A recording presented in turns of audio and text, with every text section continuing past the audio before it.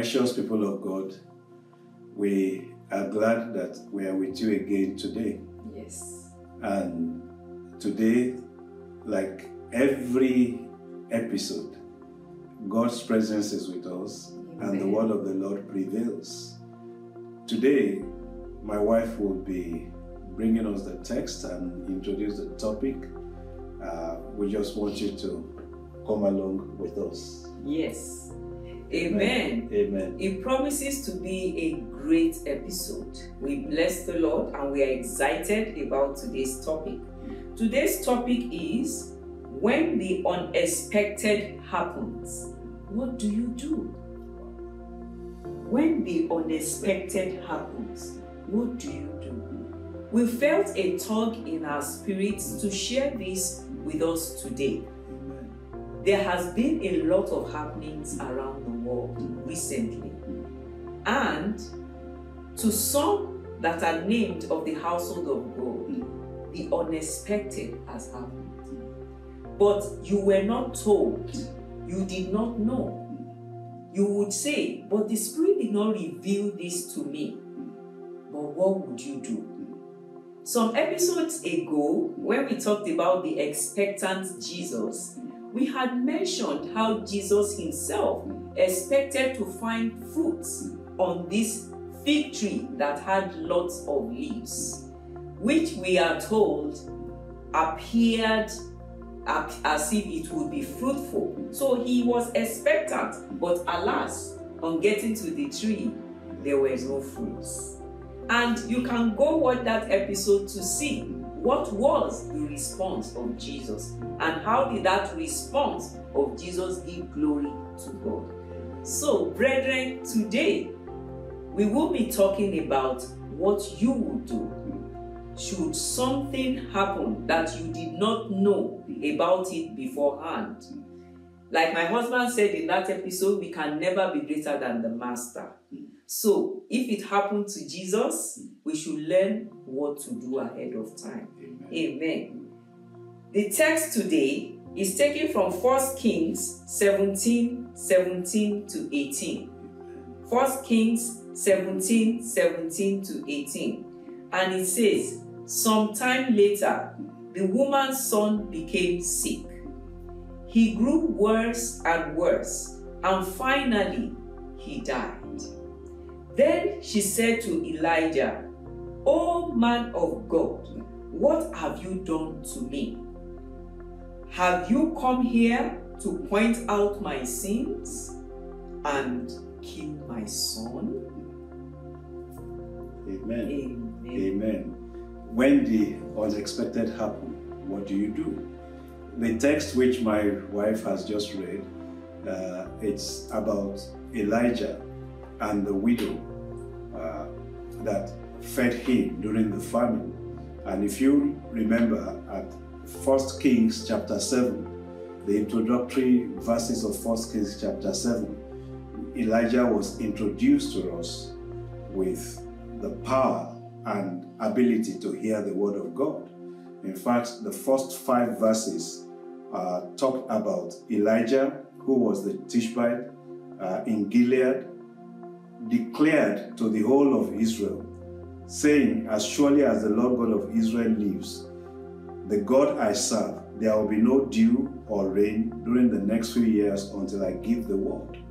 And he went on even uh, in verse 5 so Elijah did as the Lord told him and camped beside Kerit Brook.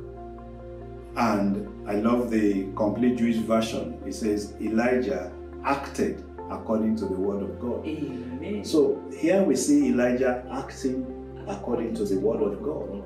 So what we are talking about today, when the unexpected happen, assumes that you know how to hear the voice of God. Mm. Do you know how to hear the voice of God?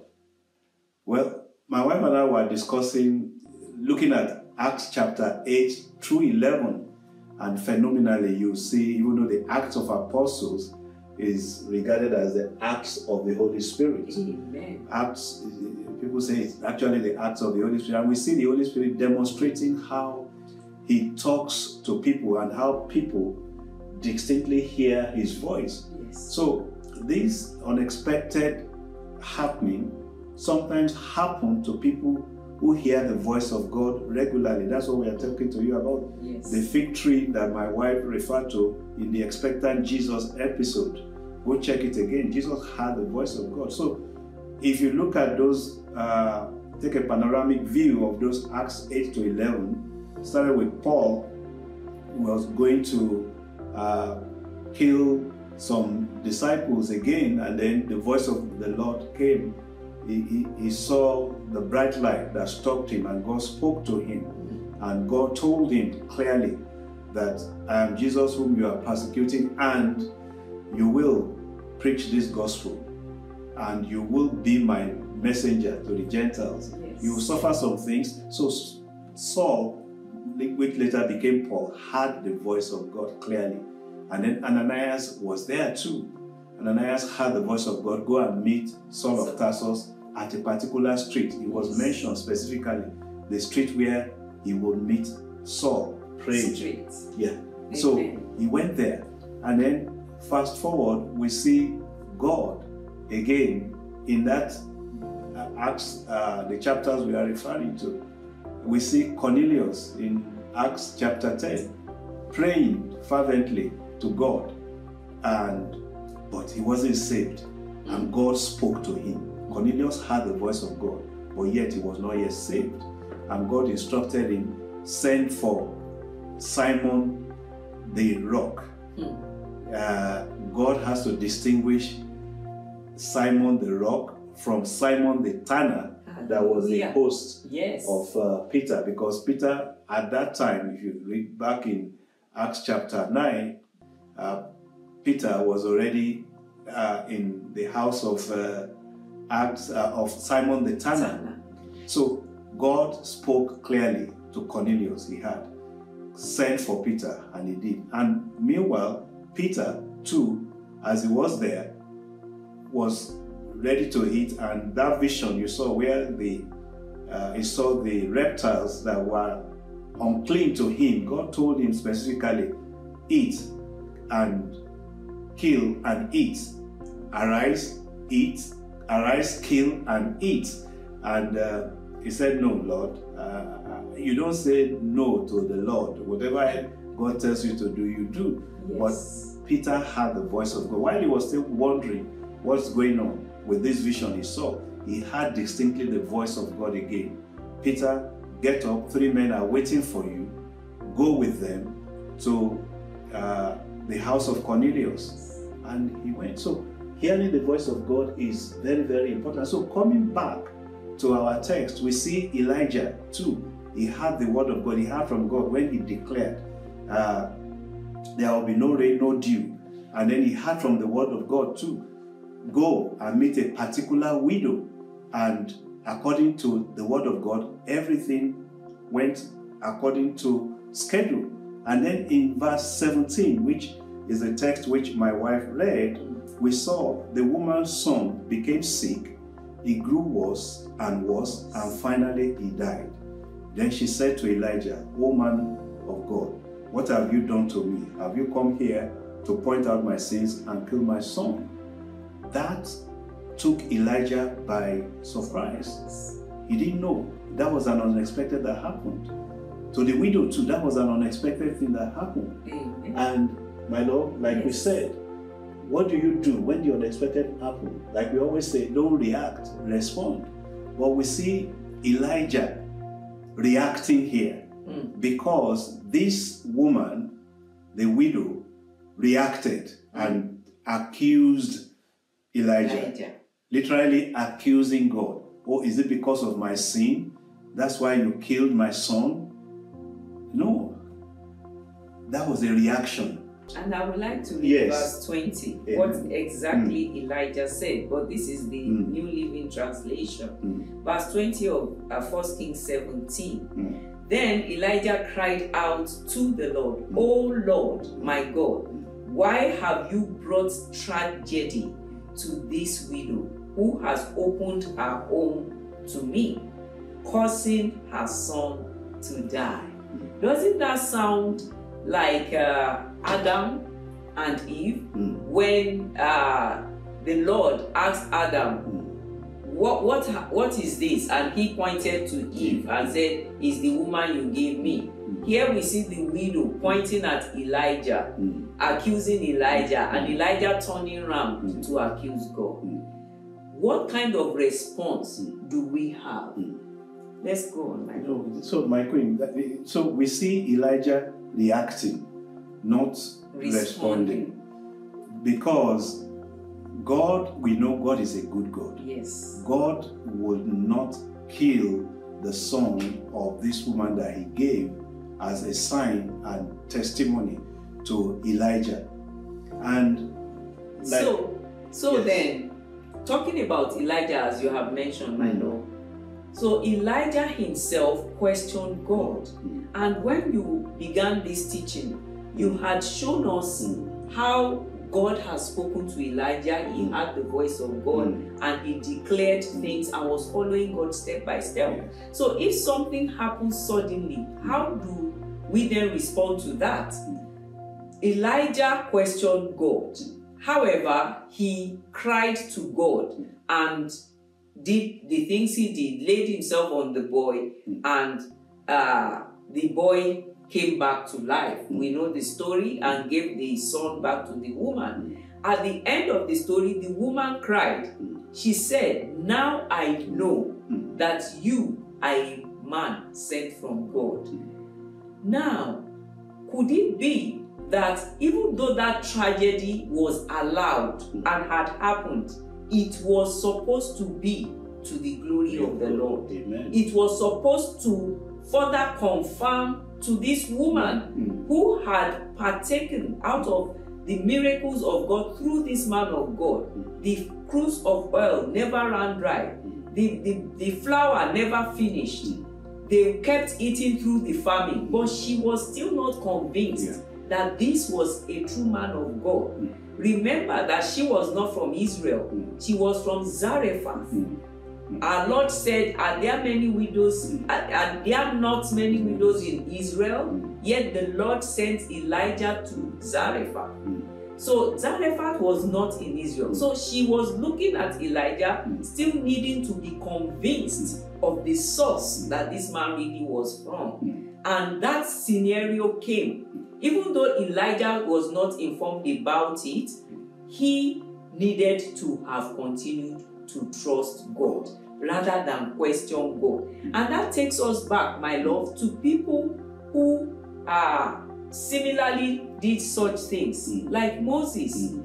Now, Moses did not himself directly question God. Mm. But there was this situation in Numbers chapter 13 where the children of Israel wanted to know for themselves what that land that God was going to give them looked like. Yeah. So they kept talking among themselves and wanting to know, and at the end of the day, they came up with this idea that their leaders should go and spy out the land. Mm. And they suggested uh, their thoughts, they shared their thoughts with Moses. Mm. And what are we told that Moses did? He went to God, which was a good step. He went to God to ask what to do. But the answer of the Lord to Moses in Numbers 13, uh, I believe verses 1 and 2, is what is concerning, is what brings this topic out. When something happens and is unexpected, what do you do? Do you continue to trust God or do you uh, begin to second guess God? Do you begin to doubt God? This is the same God that had brought them out through all the plagues that were in Egypt and all the miracles of the plague. Is the same God that opened the Red Sea and caused them. to walk on dry ground. Yes. Is the same God that killed and made their enemies drown in the same Red Sea. It's the same God that caused food to come from heaven, whether it be manna or whether it be meat, the quail. It's the same God that brought water out of the rocks. It is the same God that they were now doubting. And why was this God doing all that? It was to take them to, the that promised promised land. So, how doubting or second guessing that move was a big deal. And God answered Moses in Numbers 13. He said, Send for yourself men. Send yourself men to the land of Canaan. Now, the way that part is translated shows that God was saying, Send the men because you want to. do so.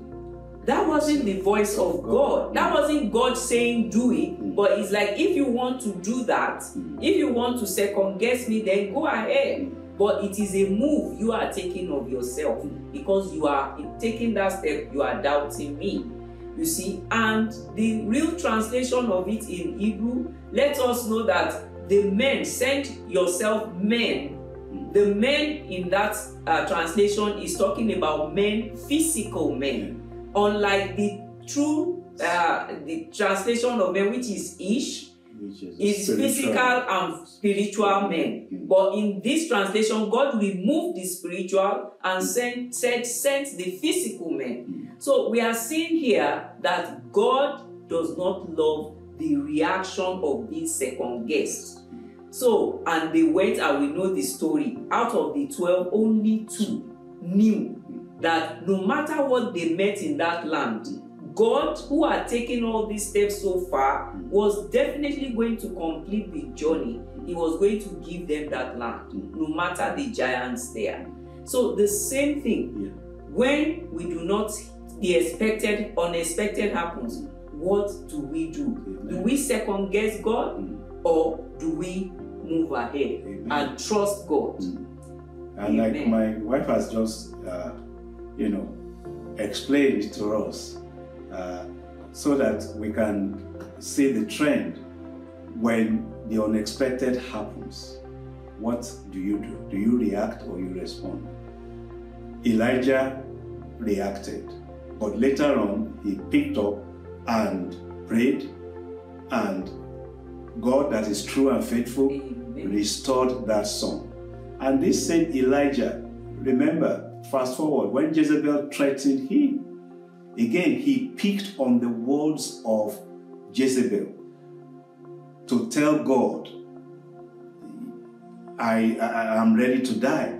Because Jezebel threatened that he was going to kill him because he had killed the prophets of Baal, picking human words and leaving God's word. When the unexpected happen, whose word do you pick up first? You should pick up the word of God. And like Moses, we saw too in another part, when the, these same children of Israel provoked him, the Bible records he spoke unadvisedly with his lips. And that was why he couldn't enter the promised land. So you have a choice.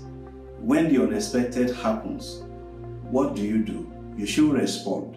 And by the grace of God, in the next episode, we are going to be showing you the men that responded, not reacted.